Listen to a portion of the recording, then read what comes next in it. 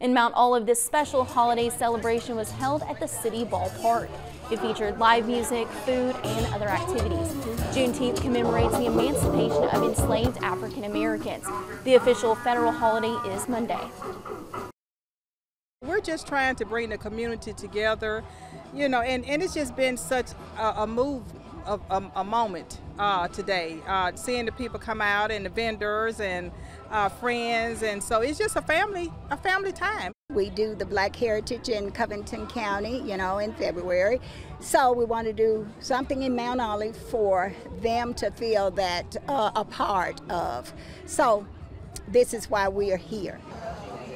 Juneteenth dates back to June 19, 1865. That was the date of an army order proclaiming freedom for slaves in Texas.